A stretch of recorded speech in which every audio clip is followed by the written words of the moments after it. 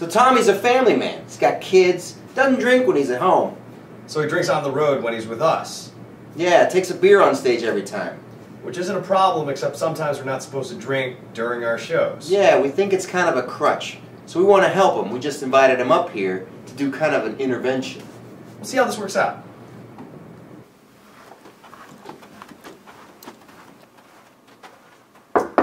Hey, man.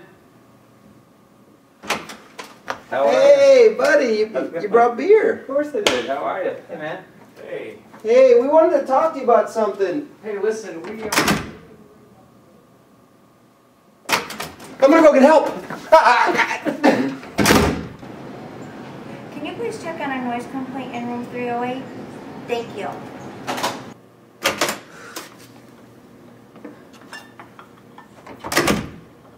Single guys. Management, we got a noise complaint.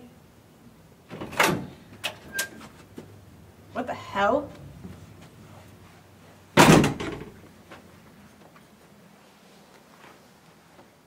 What the hell happened to you? I think I'm okay.